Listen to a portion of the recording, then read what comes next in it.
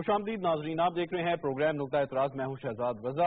Election میں پچیس دن باقی ہیں۔ سیاسی جماعتوں نے باضابطہ طور پہ اپنی سیاسی مہم کا آغاز کر دیا۔ عمران خان صاحب، پاکستان تحریک انصاف کے سربراہ، آج انہوں نے اسلام آباد میں ورکرز کنونشن سے خطاب کیا اور کہا کہ اگلا الیکشن وہ ضرور جیتیں گے۔ انہوں نے بات کی کہ تقریباً پانچ ہزار کے قریب ان کو درخواستیں موصول ہوئیں اور ایک بہت بڑا چیلنج تھا ان کے لیے امیدواروں کو ٹکٹ جاری کرنے کا۔ میڈیا رپورٹس کے مطابق پاکستان مسلم لیگ نواز سابق حکمران جماعت، وہ شاید دو سو بہتر جو مکمل کنسٹیٹوئنسی ہیں اس وقت پاکستان میں حلقے ہیں اس میں شاید تمام پر اپنے امیدوار کھڑے نہ کر سکے۔ مسلم لیگ نواز کو ایک اور سیاسی دھچکا لگا جب ساؤتھ سے، ساؤتھ پنجاب سے کچھ ان کے جو الیکٹیبلز تھے، امیدوار تھے، مضبوط امیدوار تھے، وہ ان کا ساتھ چھوڑ گئے اور وزاد حیثیت سے وہ لڑیں گے۔ اس سے پہلے بڑے دو رہنما چودھری نثار علی خان چھوڑ کے جا چکے ہیں، زین قادری اور اب سردار مہتاب خان عباسی صاحب کے بارے میں بھی یہی طلاع تھی۔ انہوں نے واضح طور پہ نون لیگ سے کنارہ کشی اختیار کی۔ بہرحال یہ مشکلات ہیں، سابق حکمران جماعت کے لیے، لیکن وہ مقابلے میں موجود ہیں اور بھرپور انداز میں مقابلہ کرنے کا انہوں نے ایادہ کر رکھا ہے۔ یہ دیکھنا باقی ہے، اس پر گفتگو ہم کریں گے، لیکن اس سے پہلے وفاقی کابینہ کا اہم اجلاس تھا۔ نگران حکومت کی ذمہ داری ہے۔ ون آف دا ریسپانسبلٹیز کے انہوں نے صاف اور شفاف الیکشن کرانے میں اپنا کردار ادا کرنا ہے۔ اور اس کے ساتھ ساتھ پاکستان کے جو اور دیگر ایشوز ہیں، ان کو بھی ساتھ ساتھ لے کے چلنا ہے۔ اور ایک اسموتھلی اچھے طریقے سے جو ٹرانسفر آف پاور ہے اگلی منتخب حکومت کو انہوں نے منتقل کرنی ہے۔ اس پر سب سے پہلے بات کرتے ہیں، ہمیں جوائن کر رہے ہیں بیرسٹر علی ظفر صاحب۔ منسٹر فار انفارمیشن ہے سر، آپ کے ٹائم کا بہت بہت شکریہ۔ اگر آپ تھوڑا سا ہمیں بریفلی بتا سکیں آج کیا اہم فیصلے ہوئے کابینہ کے اجلاس میں؟ دیکھیں، کچھ فیصلے تو ایسے ہوتے ہیں جو کہ آپ کو شاید نہیں ذکر کر سکتے، وہ سیکورٹی میٹرز ہوتے ہیں۔ لیکن بہت سارے فیصلے مزید بھی ہوئے۔ اس میں کچھ آپ کو پتا ہے، افغانستان کی جو ریپیٹریشن کرنی ہے ہم نے لوگوں کی اس کے اوپر بات چیت ہوئی اور کچھ فیصلے ہوئے۔ پھر آپ کو پتا ہے، F A T V, F A T F کا بہت بڑا ایک مسئلہ تھا پاکستان کو درپیش۔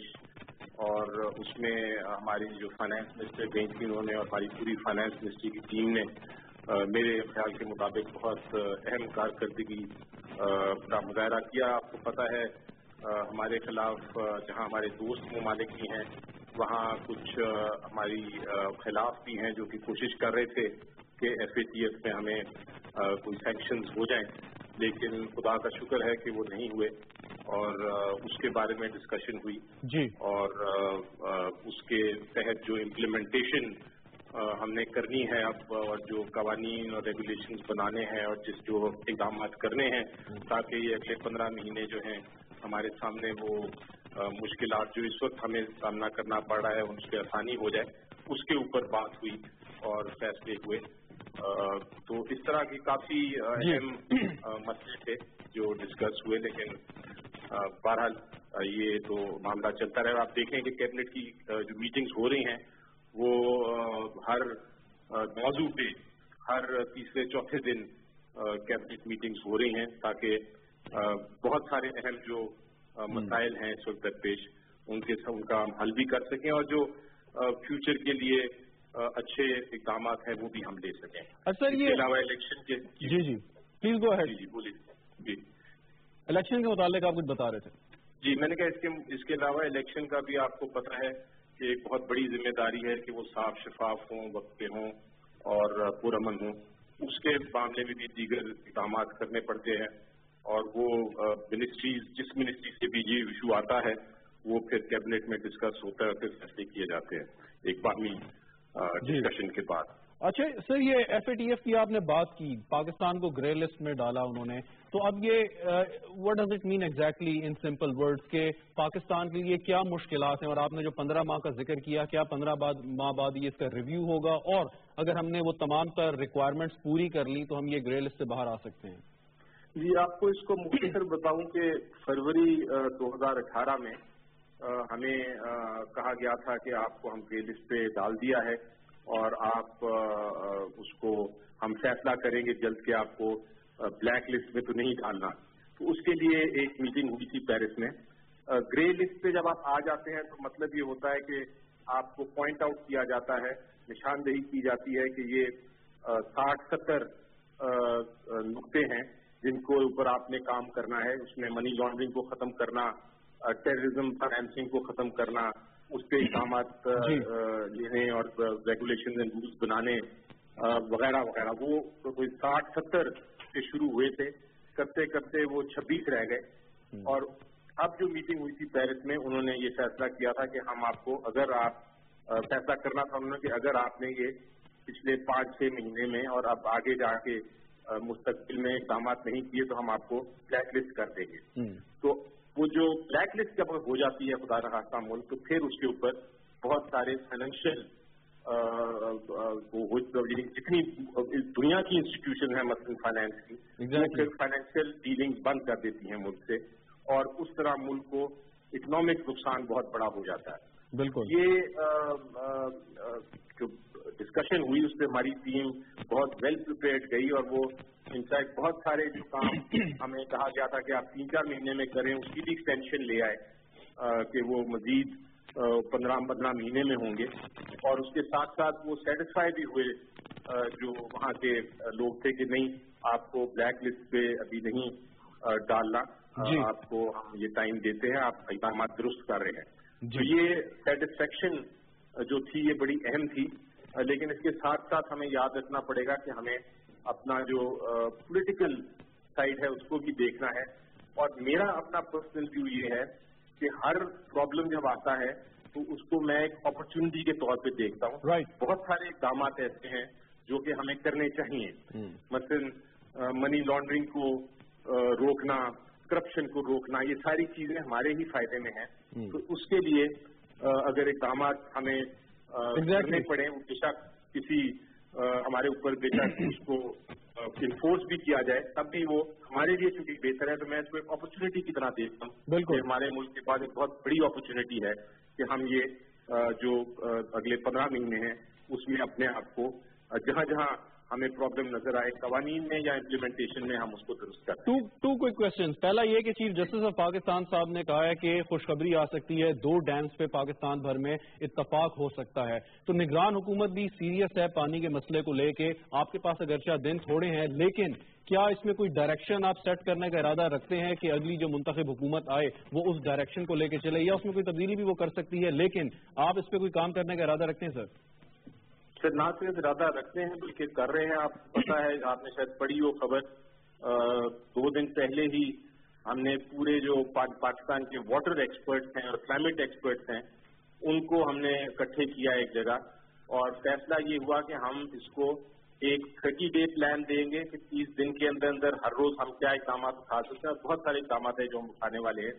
اور پھر اس کی شارٹ ٹرم اور لانگ ٹرم پالیسیز بھی دینی ہے کیونکہ آپ کو پتا ہے ہمارا اتنا خوبصورت ملک ہے اور اتنا پانی ہے اتنی قدرت نے ہمیں چیزیں دی ہوئی ہیں لیکن ہم بدقسمتی سے اپنے جھگڑوں میں پڑے رہے پولیٹیکل جھگڑوں میں پڑے رہے بہت دیر اور ہم نے واٹر جی۔ کی طرف پانی کی طرف جو زندگی ہے اس کی طرف غور و فکر نہیں کیا۔ تو یہ اب وقت آ گیا ہے کہ ہمیں پرسوں سے ہی شروع کر دینا چاہیے تھا کام لیکن ہم آج کر رہے ہیں۔ بالکل۔ دیر نہیں ہوئی لیکن پھر بھی بہت کام کرنے والا ہے اس میں بالکل درست فرما رہے ہیں آپ۔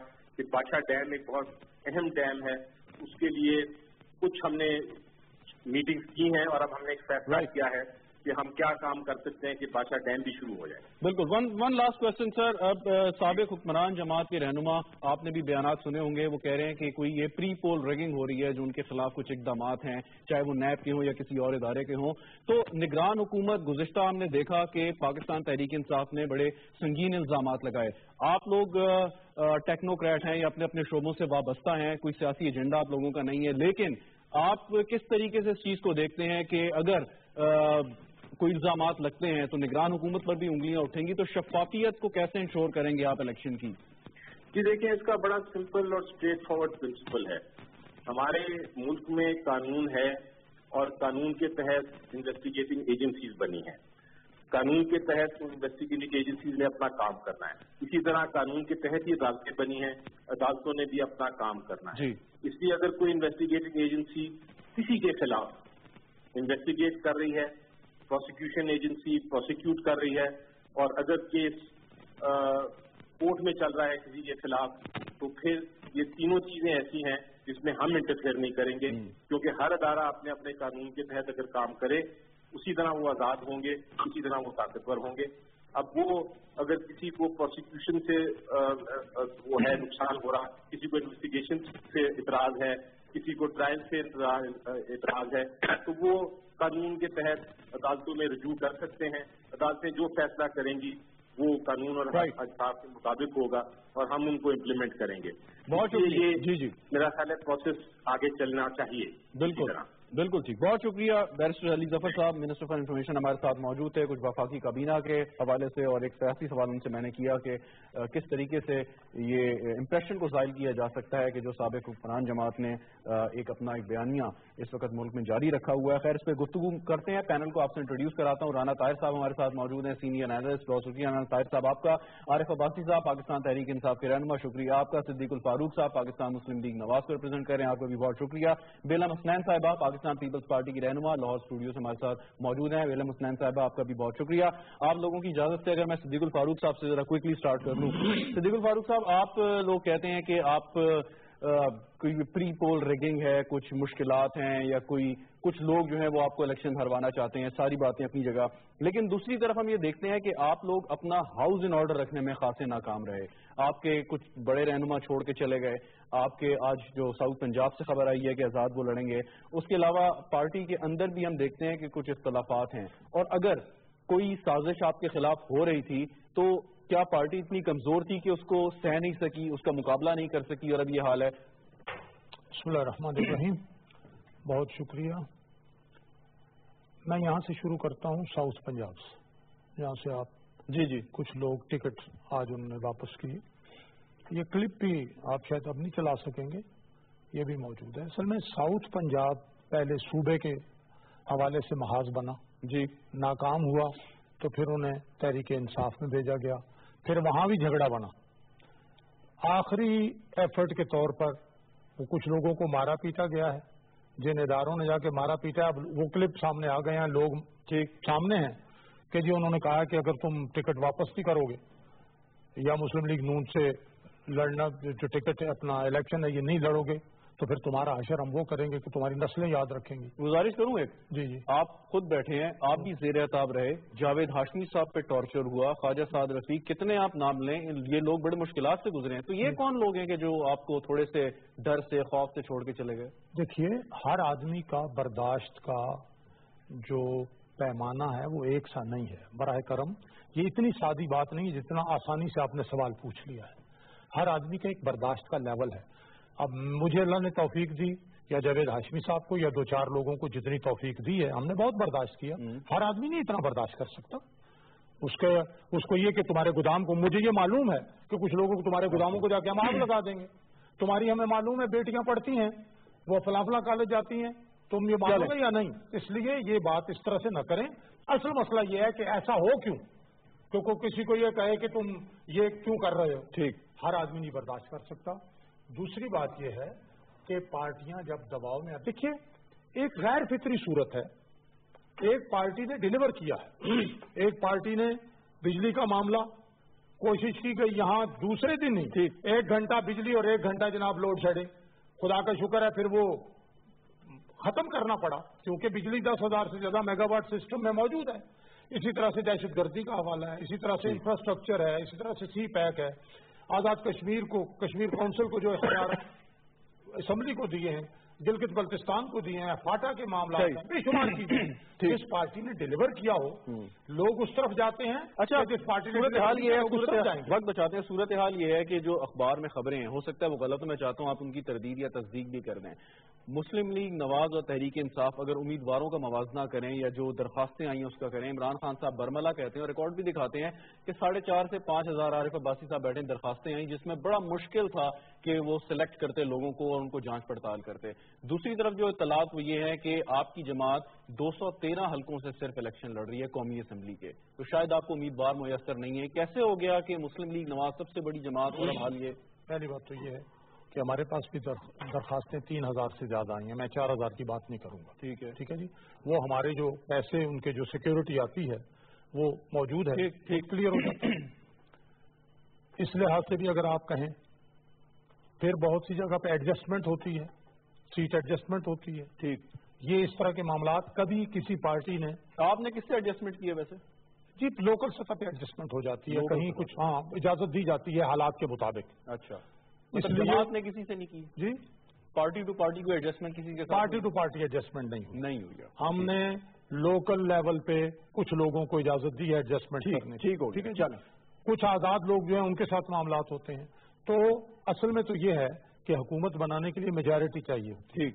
اگر ہم ٹو ہنڈریڈ پلس سیٹوں پہ الیکشن لڑ رہے ہیں اور ہمیں اللہ کے فضل و کرم سے یہ امید ہے کہ ہم بالکل میجارٹی لیں گے چاہے جتنا مرضی ہے یہ جو دباؤ آپ تک ڈال ایک جملہ میں اور عرض کروں گا آخری بات پھر آگے بڑھنا میجورٹی سے مراد کیا ہے؟ میجارٹی ففٹی پر ففٹی ون پرسینٹ مطلب ون سیونٹی ٹو آپ اکیلے لے لیں گے۔ اللہ کے فضل و کرم سے۔ میں صرف یہ عرض کروں گا کہ اگر یہ بات نہ ہوتی تو جو توڑ پھوڑ کے سلسلے آخر تک کوشش ہوئی کہ الیکشن کو ہی ملتوی کر دیا جائے تین سے چھ مہینے۔ کیونکہ جو لوگ کوششیں کر رہے ہیں توڑ پھوڑ کی وہ اس میں کامیاب نہیں ہو سکے۔ چلیں آگے بڑھتا ہوں۔ واپس آتا ہوں واپس آتا ہوں۔ رانا طاہر صاحب آپ کی جانب اور یہ جو گفتگو کی صدیق الفاروق صاحب نے کہ کوشش کی جا رہی ہے پھر ان کے پاس امیدوار ہیں اور آخر میں سب سے بڑی بات یہ کہ ایک سو بہتر کا جو جادوئی ہنسا ہے وہ یہ اکیلے ہی عبور کر لیں گے۔ آپ اس بارے میں آپٹیمسٹک ہیں مسلم لیگ نواز کے سیاسی مستقبل کو لے کے اگلے پانچ سال؟ دیکھیں شہزاد رضا صاحب صدیق الفاروق صاحب نایت محترم ہیں۔ بات یہ ہے کہ اور انہوں نے بالکل ان کا اپنا حق ہے کہ وہ اپنی پارٹی کا دفاع کریں۔ لیکن جو زمینی حقائق ہیں وہ میری رائے میں اس سے ذرا مختلف ہیں۔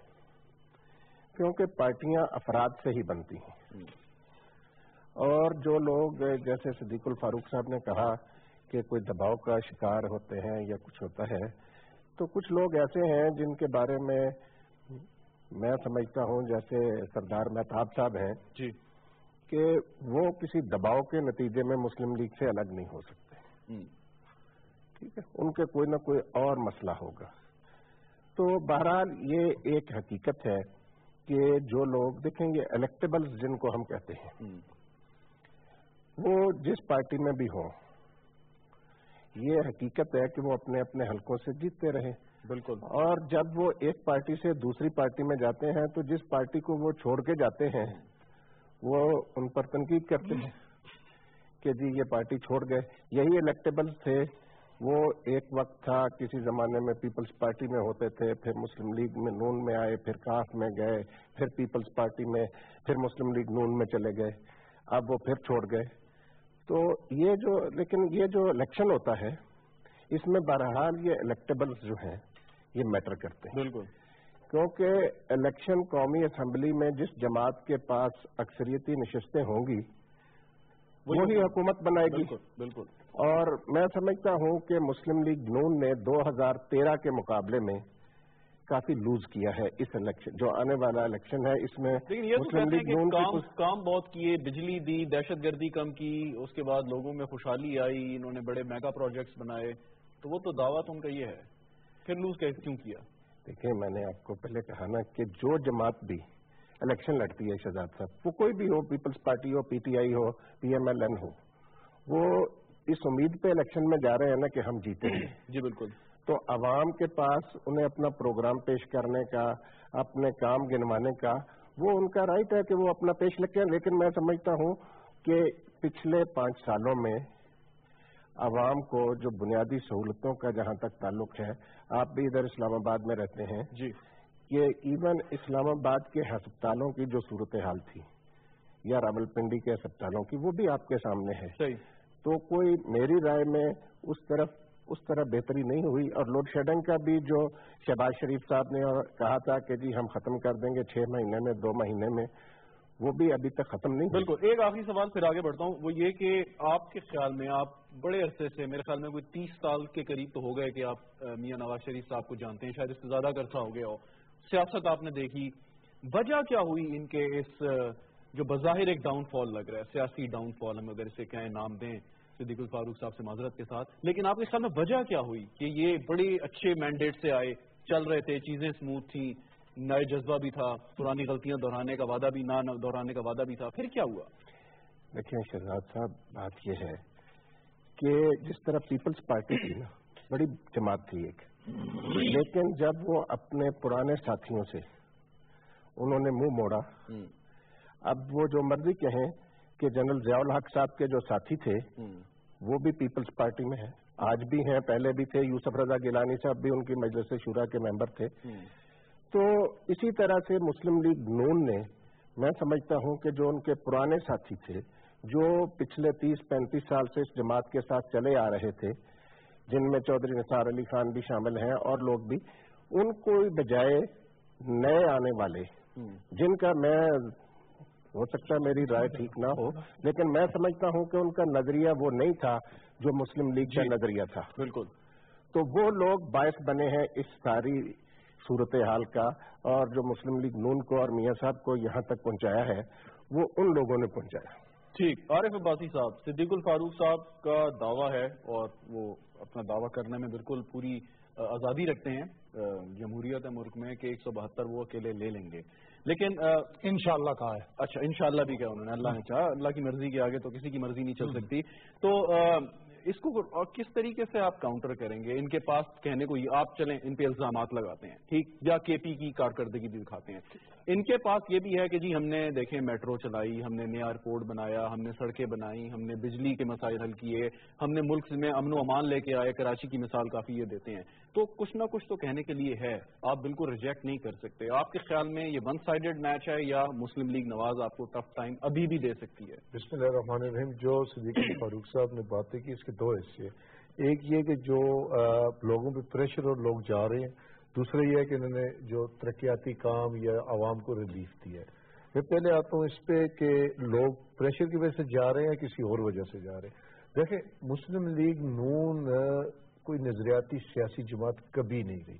یہ مفاد پرستوں کا ایک ٹولہ امریت کے دور دور میں اکٹھا ہوا غیر جماعتی الیکشن میں۔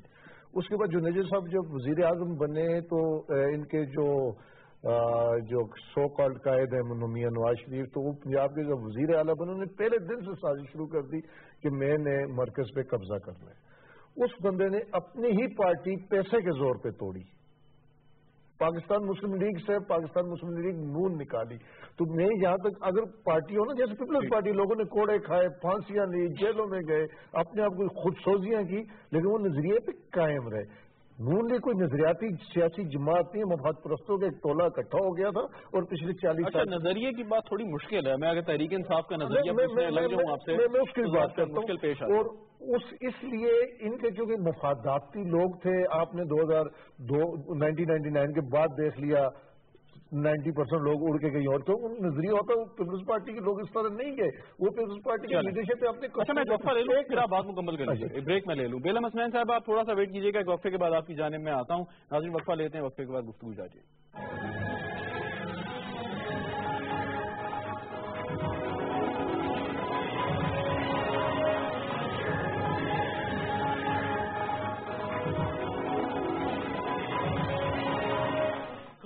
منٹ کنڈیشن کار 2005 ماڈل بھائی انٹرنیٹ پہ لگا دیے۔ مفت میں ہوتی ہے صرف بے قدری۔ جنگ کلاسیفائڈ ابھی جا کر اشتہار لگواؤ اور نئی گاڑی کے لیے گراج صاف کرواؤ۔ اب پاکستان میں پہلی بار کیو آر کوڈ کے ساتھ یعنی کیو آر کوڈ سکین کریں اور تصویریں یا ویڈیو دونوں دیکھیں۔ خرید و فروخت میں پاکستان بھر کی پہلی چوائس جنگ کلاسیفائڈ برسوں کا اعتماد۔ جنگ کلاسیفائڈ میں گاڑی کا اشتہار کیا تھا آپ نے وہ تو بک گئی اتنی جلدی جنگ کلاسیفائڈ میں صبح ایڈ لگایا تو سمجھو شام تک بک گیا سینئر صحافی زاہد فاروق ملک کی زیر ادارت جڑوا شہروں راول پنڈی اسلام آباد سے شائع ہونے والا پہلا مکمل مقامی اخبار روزنامہ میٹرو واچ اسلام آباد جس میں اب ہوں گی الیکشن دو ہزار اٹھارہ کی گلی گلی کی خبریں آج ہی اپنے ہاکر سے طلب کریں۔ یہ ایک سچی کہانی ہے۔ جب میں شہر سے گاؤں واپس آیا تو والد صاحب کی خواہش تھی کہ میں کاشتکاری کروں۔ اور سچ پوچھیں تو یہی میرے دل کی آواز بھی تھی۔ شروع میں مشکلات تو بہت آئیں، لیکن وہ میرے ارادے کو بدل نہ سکی۔ سرسبز کی ٹیم نے دیے مجھے صحیح مشورے اور سرسب کھادوں نے دیا میرا بھرپور ساتھ۔ میں نے دھان کی فصل پہ سرسب این پی اور کین گوارا کی جوڑی استعمال کر کے اڑسٹھ من فی ایکڑ پیداوار حاصل کی اور پنجاب حکومت کے پیداواری مقابلے میں انعام لیا۔ اگر سرسب کھادے نہ ہوتی تو یہ کامیابی بھی نہ ملتی۔ مجھے بھروسہ ہے سرسب این پی اور کین گوارا پر۔ سرسب کھادیں، زمین کی جان، فصل کی شان۔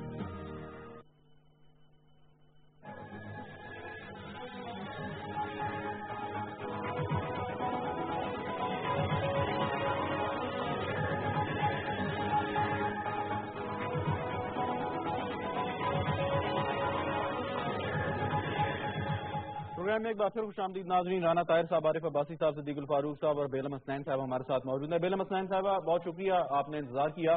سوال آپ سے یہ ہے کہ پاکستان پیپلز پارٹی جو آزاد تجزیے اس وقت کیے جا رہے ہیں مطلب آپ اس سے متفق ہو یا نہ ہو یا آپ کی ثواب دید ہے، میرے نہیں ہے، جو اخبارات میں ہم پڑھ رہے ہیں، وہ یہ کہ شاید پیپلز پارٹی سب سے بڑی جماعت بن کر نہ ابھر سکے۔ لیکن پیپلز پارٹی شاید اتنی سیٹیں لے لے کہ وہ مجبوری بن جائے کسی بھی جماعت کی جو حکومت بنانے کا ارادہ رکھتی ہے یا اس کی، اس میں کوئی اہلیت ہے یا اہمیت ہے۔ تو اگر ایسا سنیریو بلٹ ہوتا ہے تو آپ کے پاس دو چوائسز ہوں گی، یا تو نون لیگ یا تحریک انصاف۔ بظاہر جو اس وقت نظر آ رہا ہے۔ تو ابھی کوئی پارٹی کے اندر مشاورت ہوئی ہے کہ کس طرف پاکستان پیپلز پارٹی جا سکتی ہے؟ بے نمسنین صاحب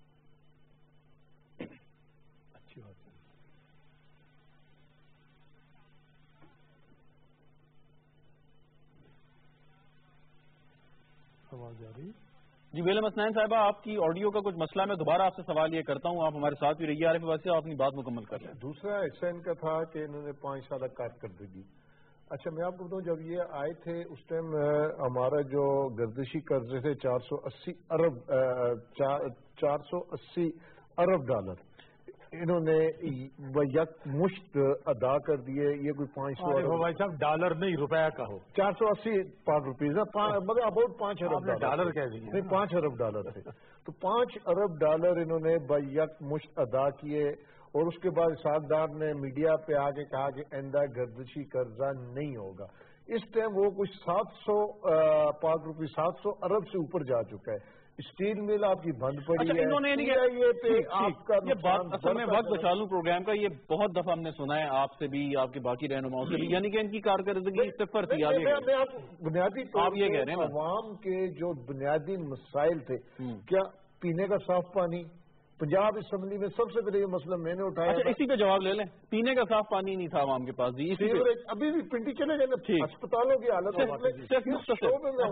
اور کہیں نہیں صرف اس بات پینے کا صاف پانی اور دو تین باتیں جی۔ پہلے اس پہ دے دیں تیسری ہو۔ دیکھیے پینے کا پانی بھی لوگوں کے پاس ہے۔ کبھی اگر کبھی بارشوں کی کمی میں جو بات کروں کبھی بارشوں کی کمی کی وجہ سے اگر زیر زمین جو سطح آب ہے وہ نیچے چلی جائے جو پوری دنیا میں ہو رہا ہے۔ ہاں آپ یہ کہہ سکتے ہیں کہ جس پیمانے پر ہم نے بجلی کے لیے دہشت گردی کے لیے سیپ پیک کے لیے کام کیا اس پیمانے پر پانی کے لیے کام نہیں ہوا۔ یہ بات کہہ سکتے ہیں۔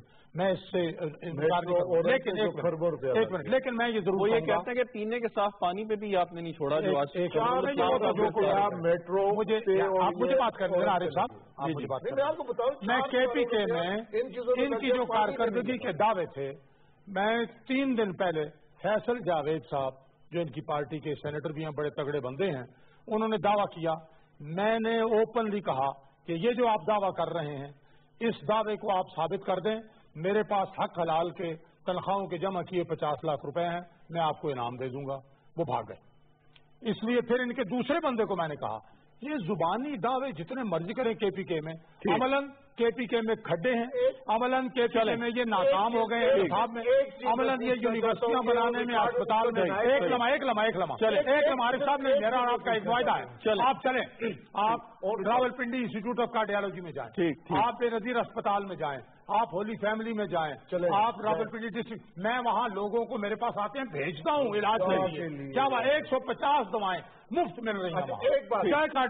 ایک point six four six billion ایک ارب چار سو چونسٹھ کروڑ روپیہ قرض اورنج ٹرین پہ سیون پرسینٹ مارجن سے لیا گیا اورنج ٹرین اچھا چلیں سب سے زیادہ قرضہ کے پی کے حکومت میری بات سنیں نا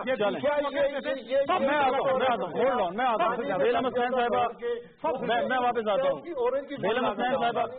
جی معذرت کے آپ سے آپ سے بات مجھے صرف یہ بتا دیجیے کہ میں نے سوال کیا تھا آپ سے اگر آپ نے سنا تھا تو اسی کا جواب دے دیں کہ پیپلز پارٹی اگلے انتخابات میں کہاں کھڑی ہوگی کس نہیں دیا پتہ نہیں بلانے کی زحمت کیوں کی آپ نے نہیں میں معذرت چاہتا ہوں کہ وہ آڈیو کا کوشچن تھا لیکن آپ پلیز آپ کو میں پورا ٹائم دوں گا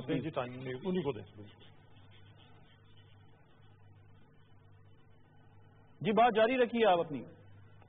پوچھے تو بولے نا۔ جی میں نے سوال یہ کیا تھا آپ سے کہ پوچھے تو بولے جی جی میں آپ سے سوال کر رہا ہوں۔ سوال میں نے یہ کیا تھا کہ پاکستان پیپلز پارٹی اگر حکومت بنانے کی پوزیشن میں نہیں رہی تو کس جماعت کے ساتھ آپ کا رجحان ہے کہ آپ مل کے حکومت بنانیں گے؟ کوئی اس قسم کی بات ڈسکس کی آپ نے اپنی پارٹی میٹنگز میں؟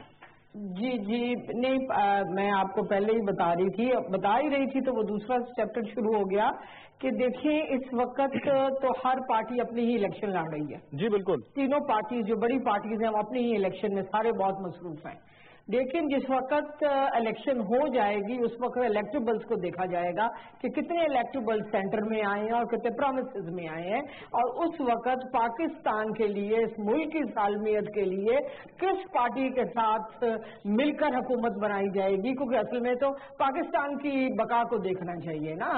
آپ کی اور ہماری پسند تو نہیں ہونی چاہیے۔ بالکل۔ ہمیں تو اپنے ملک کا خیال رکھنا چاہیے کہ وہ کس سمت جا رہا ہے اور ہم نے کس طرح اپنے حالات کو امپروو کرنا ہے۔ ہم گرے لسٹ میں کہیں جا رہے ہیں، کہیں ہمارا پانی نہیں ہے۔ ملک میں دہشت گردی بڑی چلتی جا رہی ہے۔ ملک کے حالات خراب ہو رہے ہیں۔ ہمارے پاس ہیلتھ فیسلٹیز نہیں ہیں۔ ہمارے پاس ایجوکیشن فیسلٹیز نہیں ہیں۔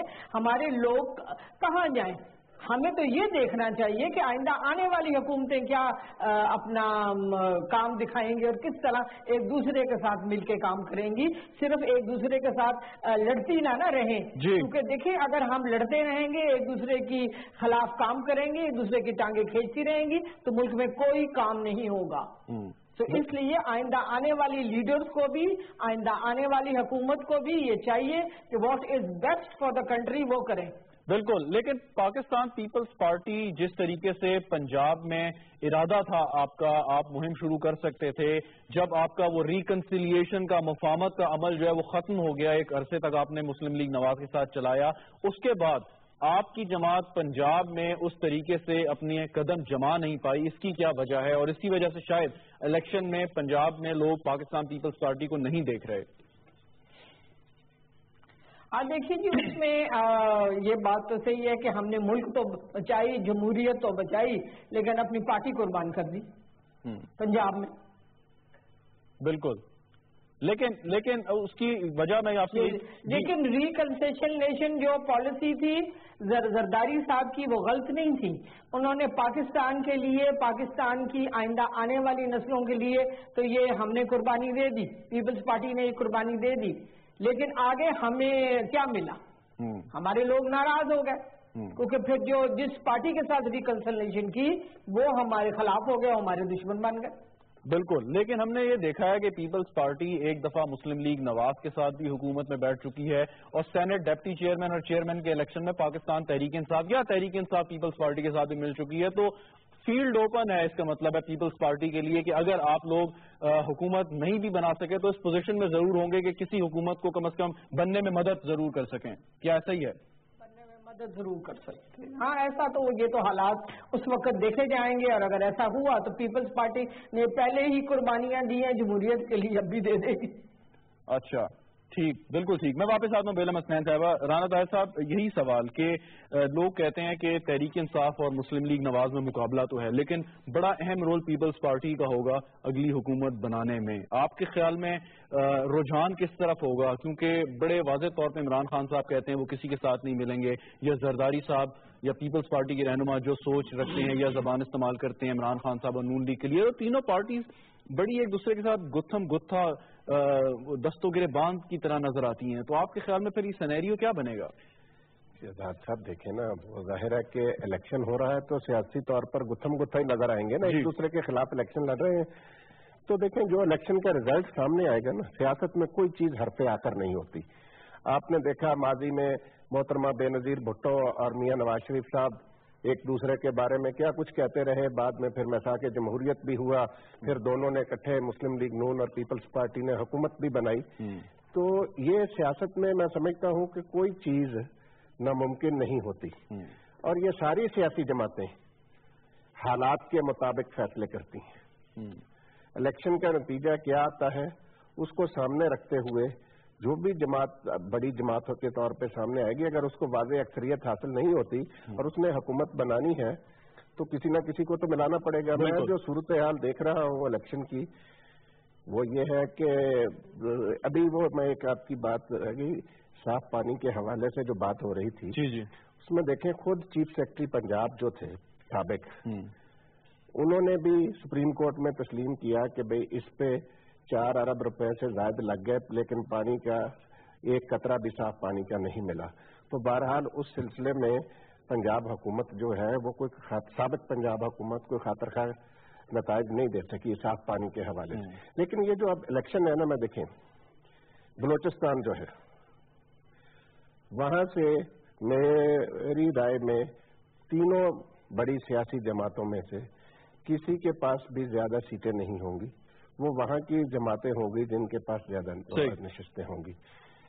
تو سندھ میں بلا شبہ ساری تنقید کے باوجود سارا کچھ ہونے کے باوجود یہ ماننا پڑے گا کہ آج بھی پیپلز پارٹی ایک بڑی جماعت ہے صوبہ سندھ میں۔ اور الیکشن میں پیپلز پارٹی کے خلاف جی ڈی اے بھی بنا ہے اور بھی ہے اپنا اربن ایریاز میں ایس ایم ہے۔ پی ٹی آئی ڈی اب پچھلے الیکشن کی نسبت میں سمجھتا ہوں کہ سندھ میں شاید زیادہ سیٹیں لے جائے پھر پنجاب جو ہے اصل مارکا یہاں پہ یہاں پہ جو صورتحال ہے وہ یہ ہے کہ میں نے جیسے پہلے عرض کیا نا بہرحال یہ جو واقعات پچھلے پانچ چھ مہینوں کے ہیں اور خاص طور پر پچھلے دو مہینے میں اس کو سامنے رکھتے ہوئے اس وقت یہ لگ رہا ہے کہ تحریک انصاف کا لڑا بھاری ہے۔ بلہ بھاری ٹھیک میں واپس آ رہا ہوں۔ سید فاروق صاحب ایک بات مجھے بتائیں کہ آپ الیکشن ہاریں یا جیتیں نتائج آپ کو قبول ہوں گے؟ یہ تو اصولی فیصلہ ہے آپ لوگوں کا یا نہیں؟ یہ تو جی ہم ابھی سے ہم بتا رہے ہیں کہ پری پول ریگنگ ہو رہی ہے۔ نہیں نہیں ابھی سے ہم کہہ رہے ہیں تو پتا ہے نا۔ نہیں جی، جی۔ میں کہہ رہا ہوں کہ اصولی فیصلہ یہ ہے آپ کا کہ نتائج کچھ بھی ہوں۔ آپ جیت بھی سکتے ہیں تو وہ تو پھر آپ سے یقیناً قبول کریں گے۔ دیکھیے میں آپ سے کروں کہ جو کارکردگی کی بنیاد پر جو ہم سمجھتے ہیں ہمیں تو دو تیز اکثریت ملنی چاہیے۔ اب رہ گئی بات جو کچھ ہو رہا ہے وہ کیا ہو رہا ہے؟ اس سے میں یہ اندازہ لگاؤں کہ اگر مسلم لیگ اگر اگر مسلم لیگ نواز حکومت ہار گئی تو نتائج آپ کو قبول نہیں ہوں گے۔ میں یہ سمجھتا ہوں کہ نظر آ رہا ہے کہ کیا ہو رہا ہے۔ سیدھا سا جواب دے دینا سر ایک سمپل تھا کہ اگر آپ میں اگر اب اس وقت میں بیٹھ کے کو بات کہوں جی جی۔ کہ نتائج قبول ہوں گے یا نہ ہوں گے یہ ہماری مرکزی قیادت بیٹھ کر حالات کے مطابق ہی بات کرے گی۔ دیکھیں بڑی سمپل سی پلس ٹو فور ہے یہ نا کہ اگر آپ کہتے ہیں کہ جی پری پول ریگنگ ہو رہی ہے دھاندلی ہو رہی ہے آپ کا مینڈیٹ چرایا جا رہا ہے آپ کو روکا جا رہا ہے تو پھر تو ہم یہ تصور کریں گے کہ اگر آپ الیکشن ہار گئے تو اس چیز کو آپ آگے بڑھائیں گے اور قبول نہیں کریں گے میں آپ سے پھر عرض کروں گا شہزاد رضا صاحب آپ اپنی پوزیشن دیکھیں آپ میری پوزیشن جی جی۔ میں یہاں پوری پارٹی کی کوئی مجلس عاملہ نہیں لے کے بیٹھا ہوں ٹھیک ہے۔ یا میں اس پارٹی کی مرکزی قیادت ٹاپ کی قیادت نہیں ہوں۔ لیکن لیکن عمل میں شامل پھر حالات کو سامنے رکھتے ہوئے ہو سکتا ہے احتجاج ریکارڈ کرتے ہوئے ہم ملکی حالات کو سامنے رکھتے ہوئے کہیں اچھا ٹھیک ہے ہم احتجاجن ہم یہ منظور کرتے ہیں قبول کرتے ہیں۔ ٹھیک۔ ٹھیک ہے؟ یعنی یہ یہ فیصلہ مرکزی قیادت نہیں کر ٹھیک ٹھیک۔ لیکن یہ کہ اصولی فیصلہ یہی ہے کہ پھر پھر اب آپ اصولی فیصلہ کہہ رہے ہیں میں اصولی فیصلے کی بات ہی نہیں کر رہا۔ کیا بات کر رہے ہیں آپ؟ آپ ایسی بات نہیں کرتے۔ نہیں نہیں عارف عباسی آج آپ بات کر رہے ہیں۔ عارف عباسی صاحب لیکن ہم نے دیکھا کہ پچھلے جب انتخابات ہوئے تو آپ نے جو سارا چکر تھا، اس کو میں ریپیٹ نہیں کرنا چاہتا۔ لیکن اب کوئی ایسی بات تو نہیں ہے جو سوال میں نے صدیق الفاروق سے صاحب سے کیا، وہی میں آپ سے ریپیٹ کرتا ہوں۔ دیکھیں، ہمارے جو تفضات ہیں، وہ ہم گائے بغیر آلموسٹ ڈیلی الیکشن کمیشن کو لیکن وہ سب کو پتا ہے نا کہ آپ کو الیکشن کمیشن پہ تحفظات ہیں آپ کو شاید بیوکریسی پہ کوشش کر رہے ہیں۔ دیکھیں میری بات سنیں۔ اب اصل چیز ہے جی ایکسپٹ کرنا۔ نون لیگ اور پیپلز پارٹی میں جو میساک جمہوریت جس کا آپ مذاق اڑاتے ہیں وہ یہی تھا کہ مینڈیٹ کا احترام کریں گے ہم گرنے نہیں دیں گے اور اسی اصول پہ چلے چاہے وہ غلط تھا۔ مطلب یہ اصول آپ نہیں اپنا سکتے میں آپ کو بات بتاؤں نا، ہمارا مسئلہ یہ روایتی پارٹیاں جو ہیں، جن کا مقصد اصول اقتدار ہوتا ہے، اس سے تھوڑا سا مختلف ہے۔ ہم یہ سسٹم ٹھیک کرنا چاہتے ہیں۔ ہم کبھی بھی اچھا۔ ایسے حالات نہیں پیدا کریں گے کہ اس ٹائم پاکستان آپ الیکشن کس لیے لڑ رہے ہیں؟ اقتدار سسٹم کو تبدیل اچھا ٹھیک سسٹم اقتدار حاصل کرنا جوائنٹ وینچر کر کے مختلف فارموں سے ہم اس سسٹم کو تبدیل کرنے کے لیے اسٹرگل کر رہے ہیں جدوجہد کر رہے ہیں اس کا ایک حصہ اقتدار بھی ہے یہ بہت بڑا ہمارا ایک بہت بڑا مقصد ہے جس میں اقتدار ایک حصہ ہے باقی ہمارا مقصد اقتدار سے بہت آگے کا ہے کہ ہم اس ملک کو اثر راستے میں لگانے جو جی جی جو وہی پارٹی یہ وہی پارٹی ہیں جن کے لیڈر نے پرویز مشرف کے ریفرینڈم کے وہ پولنگ ایجنٹ تھے اور تین سال اس کے ساتھ رہے یہ بڑے نظریاتی یہ بڑے نظریاتی ان کی ابتدا یہی سے چلی نا۔ صاحب آپ نے بھی بہت سارے شامل کر لیے۔ یہ نظریاتی کہتے ہیں ہم شروع سے نظریاتی اور تبدیلی چلیں چلیں چلیں میں وقت بچا لوں ایک جملہ۔ جی جی۔ پاکستان تحریک انصاف وہ واحد جماعت ہے جس نے دھاندلی کو سپریم کورٹ تک لے ٹرن کرپشن کو سپریم کورٹ تک لے ٹھیک۔ گئی۔ اس سے پہلے یہ دونوں یہ جو بات میں کر رہا تھا نتائج کو قبول کرنے کی یہ بڑی اہم ہے۔ کیونکہ مسلم لیگ نواز کا اگر یہ کہنا ہے کہ پری پول ریگنگ ہو رہی ہے آپ کی جماعت نے بھی یہ نعرہ بلند کیا تھا جب ہلکا بندیاں ہوئی تھیں کہ پیپلز پارٹی کے خلاف یہ کوئی بات ہے یا کوئی پری پول رنگنگ کا حصہ ہے۔ تو آپ کے خیال میں کتنا اہم ہے اور سیاسی جماعتوں کو باوجود تمام تر تحفظات کے بعد کیا ضروری نہیں کہ الیکشن کے نتائج جو بھی ہوں وہ قبول کرنے چاہیے؟ بیلم حسنین صاحبہ۔ دیکھیے جی پچھلے الیکشن جب ہوئے تھے تو وہ آپ کو سبھی کو پتا ہے کہ وہ کتنے ریگڈ تھے اور آر او الیکشن تھے۔ اس پہ بھی محترم زرداری صاحب نے کہا تھا کہ باوجود the R R O election ہم پھر بھی اس کو ایکسیپٹ کرتے ہیں۔ تو میرا خیال ہے ہم اداروں کی رسپیکٹ کرتے ہیں ہم شخصیات کا نہیں کرتے۔ اور ہمارے ہماری پارٹی ایک نظریاتی جماعت ہے جس کی بہت لمبی داستان ہے۔ قربانیوں کی تکلیفوں کی اور ہم ایسی جماعت نہیں ہے کہ آج حالات کچھ ہیں تو ہم۔ کچھ بدل جائیں گے تو کچھ حالات ہوں گے تو ہم پھر بدل جائیں گے نہیں ہم ایک ایک چہت کے ساتھ کھڑے ہوتے ہیں۔ دس از رائٹ تو this is right. This is wrong and this is wrong ٹھیک ٹھیک یعنی کہ اگر پیپلز پارٹی کے خلاف بھی فیصلہ ہوا اور یہ کہنا کہ اگر ہم اپنی کہ ہم ہار جائیں گے تو ہم اپنی ہم ان کو قبول نہیں کریں گے ریزلٹس کو۔ اور یہ وقت سے پہلے کہنا میرا خیال مطلب ہے کہ پھر آپ کی نیت میں کوئی خرابی ہے۔ اچھا۔ کیونکہ یہ تو ایکسپٹ کرنا پڑے گا۔ ساری ساری جماعتیں تو نہیں جیت سکتی۔ نہیں لیکن میرا میرا جو پوائنٹ تھا۔ کوئی نہ کوئی Exactly, کوئی. گورنمنٹ میں جائے گی کوئی۔ اپوزیشن میں جائے گی۔ یہ تو ایکسپٹ کرنا ہی پڑے گا۔ بالکل، رانا طاہر صاحب، رانا طاہر صاحب، میرا جو ایک اصولی ایک بات میں نے پوچھی تھی، وہ یہ کہ امریکہ بڑی جمہوریت، بڑے مضبوط انسٹیٹیوشن سارے ابھی الیکشن ان کا ہوا، کہا گیا کہ رشیا نے انٹرفیئرنس کی ہے، ان کا کوئی ڈیٹا چرایا، باقی یہ کیا، ٹرمپ صاحب کو فائدہ ہوا، لیکن انہوں نے قبول کیے نتائج، باوجود تحفظات کے۔ تو میرا ایک اصولی بات تھی کہ ٹھیک ہے، آپ الزام لگا رہے ہیں، آپ کے تحفظات ہیں، لوگ آپ کی مرضی کے نہیں ہیں، لیکن سسٹم کو چلانے کے لیے آپ نے چیزوں کو تو قبول کرنا ہے، کڑوی گولی لینی ہے یا نہیں؟ دیکھیں شہزاد صاحب بات یہ ہے کہ پاکستان میں جمہوریت کو اپنی جڑیں مضبوط کرنے کے لیے نا کافی حوصلے کا مظاہرہ کرنا ہوگا۔ ہمارے سیاستدان جو ہیں وہ جو بھی الیکشن ہارتا ہے وہ اس کو ماننے کو تیار نہیں ہوتا۔ آپ نے بالکل صحیح کہا۔ میں سمجھتا ہوں کہ اس وقت مسلم لیگ نون کی قیادت جو ہے وہ ذہنی طور پر تیار ہو چکی ہے کہ وہ الیکشن ہار گئے۔ بالکل نہیں غلط ہے۔ ٹھیک ہے نا؟ اگر آپ دیکھیں کہ جو ان کی انتخابی مہم ہے اس میں بھی ان کی وہ دلچسپی نہیں ہے۔ بڑی دلچسپی ہے۔ صدیق الفاروق صاحب آپ فرمائیں جو کراچی میں کر کے آئے یہاں کر رہے ہیں۔ کیا بات کر رہے ہیں؟ دیکھیے میں آپ کو عرض کروں۔ بات یہ ہے کہ جب آپ ذہنی طور پر شکست کو قبول کر لیں تو پھر آپ جو مرضی خاکہ بنا لیں۔ جیسے محترم صدیق الفاروق صاحب نے فرمایا کہ عمران خان صاحب جو تھے وہ پرویز مشرف کے ساتھ تھے۔ تو آپ دیکھیں بہت سارے پرویز مشرف صاحب کے ساتھی جو تھے وہ مسلم لیگ نون میں بہت سارے اہم عہدوں پر فائز رہے۔ بالکل۔ اسی طرح میاں نواز شریف صاحب خود جنرل ضیاء اللہ کے ساتھ رہے۔ خود ذوالفقار علی بھٹو صاحب آٹھ سال تک ایوب خان کے ساتھ رہے۔ بالکل۔ تو اگر ہم اس طرح کسی کے ماضی کے حوالے سے اس طرح تو میں سمجھتا ہوں کہ تینوں بڑی سیاسی جماعتوں کی قیادت جو ہے ان کا کسی نہ کسی طریقے سے فوجی حکمرانوں کے ساتھ تعلق رہا ہے۔ تو اب ہمیں آگے بڑھنا چاہیے۔ اور الیکشن میں جیسے آپ نے شروع میں کہا پچیس دن رہ گئے ہیں۔ جی۔ اس کا نتیجہ کیا آتا ہے؟ ساری جماعتوں کو اس کو قبول کرنا چاہیے۔ بالکل ٹھیک بالکل ٹھیک۔ لاسٹ ون منٹ میرا اصولی ایک سوال یہ تھا اور میں آپ سے اصولی جواب ہی چاہ رہا تھا۔ باقی تو فیصلہ آپ کی مرکزی قیادت آپ نے صحیح فرمایا کرنا ہے۔ لیکن جو بیلم اسنین صاحبہ نے بھی بات کی کہ اس وقت قبل از وقت تو ہے لیکن قبول کرنے ہیں آپ نے؟ کیونکہ یہ جمہوریت کو اگر آگے آپ نے چلانا ہے آپ نے اگر دھرنا دینا تو علیحدہ بات ہے۔ دیکھیے وقت آنے پر ملکی مفادات کو سامنے رکھ کے ہی فیصلہ کریں گے۔ دوسری بات یہ ہے کہ ذہنی طور پر شکست کی بات یہ کچھ پروپیگنڈا کرنے کی کوشش کی جا رہی ہے۔ ہم بالکل ہم احتجاج ریکارڈ کروا رہے ہیں۔ ہم جو بات جی۔ کہنی ہے وہ کر رہے ہیں۔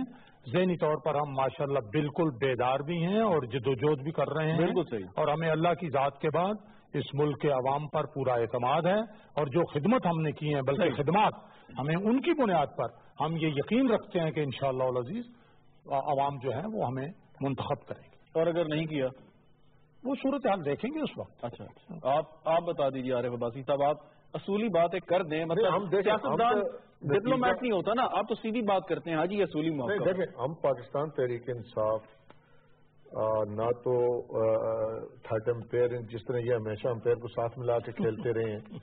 پہلا ایک الیکشن نواز شریف نے میرا دیکھیں جی۔ بڑا بڑا سمپل سا آپ تینوں معزز حضرات خوات خاتون اور حضرات بیٹھے ہیں دو تین بڑی سیاسی جماعتوں کے رہنما ہیں۔ سمپل سا ایک سوال تھا الیکشن کے نتائج جو بھی ہوں قبول ہوں گے یا نہیں؟ ہاں یا نا میں جواب دے دیتا ہوں۔ ہم تو سمجھتے ہیں کہ الیکشن کے نتائج قبول کیے بغیر یہ ملک آگے نہیں بڑھ بالکل دیکھیں بالکل اس کو ہم نے دیکھو دو ہزار تیرہ کے رنگ ترین الیکشن بھی تو ہم نے پانچ سال گزارے نا۔ میرا یہ ایک بہترین سلوک یہ ہے کہ الیکشن کے نتائج تسلیم کر کے آپ آگے بڑھیں۔ اور عوام کے سامنے اپنا پروگرام دوبارہ دیں۔ بالکل صدیق الفاروق صاحب شاید امپریس نہیں ہے آپ کچھ مسکرا رہے ہیں میں نے یہی بات کی۔ ٹھیک چلیں بہت شکریہ۔ مفادات کو سامنے رکھ کے رکھ کے فیصلہ بہت شکریہ صدیق الفاروق صاحب بیلم اسنین صاحب عارف عباسی صاحب رانا طاہر صاحب گفتگو آپ نے سنی اور بڑی اہم بات عارف عباسی صاحب نے کی کہ الیکشن کے نتائج کو قبول کرنا انتہائی ضروری ہے اس کے بغیر یہ ملک آگے نہیں چل سکتا۔ اور ہم نے دیکھا کہ ماضی میں جو سیاسی جماعت ہاری اس نے نتائج قبول نہیں کیا اور اس سے انتشار ہی ہوا۔ اور ہمارے ادارے ہم امید کرتے ہیں کہ بالکل جاں پہچانی اور ایمانداری سے کام کر رہے ہیں اور الیکشن اگلے جو ہونے جا رہے ہیں، بڑے اہم ہیں پاکستان کے اور جمہوریت کے مستقبل کے لیے۔ صاف ہوں گے، شفاف ہوں گے اور شاید کسی کو اس پر انگلی اٹھانے کا موقع نہ ملے۔ بہرحال پروگرام دیکھنے کا شکریہ، اجازت دیجیے خدا حافظ۔